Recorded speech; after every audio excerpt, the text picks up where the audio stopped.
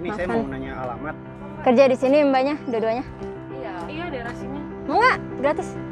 Kebetulan lagi nyari makan. Eh, Gratis nih mbak. eh, gratis lagi bagi-bagi makanan. Community service gitu gue. Tapi misal nih Pak ya, misal nih, saya kasih mbak makanan ini, tapi eh, mbak mesti milih dipukul pakai sapu, apa mau disiram air. Nggak, pilih aja. Nggak milih dua-duanya sih. Waduh. Kayaknya sih gila juga.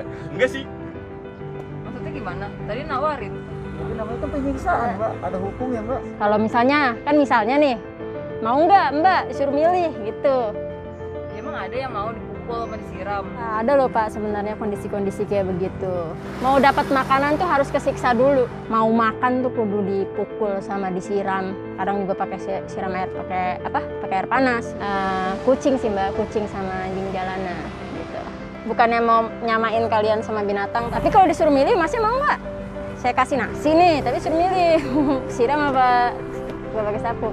Disiram. Enggak sih, saya nggak milih. Mendingan nggak usah ya kalau saya. Mbak mungkin bisa milih nih siang ini mau makan di mana. Mereka tuh nggak punya pilihan sama sekali dan kadang tuh ya mereka tuh rela nggak makan berhari-hari karena memang nggak ada nggak ada makanan gitu. Tapi gue paham sih poinnya sih.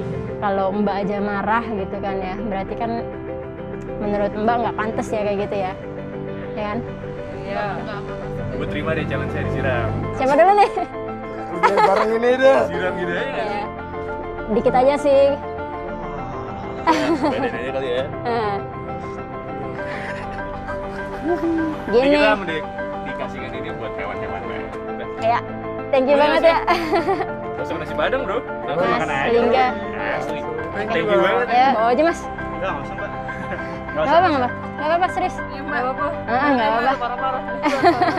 Ya udah Pak, nanti ini saya, saya titip saya titip buat teman-temannya juga. Ada sama Bapak jadi ada enam orang. Iya, siap. Am- am- Sama Bapak enam orang.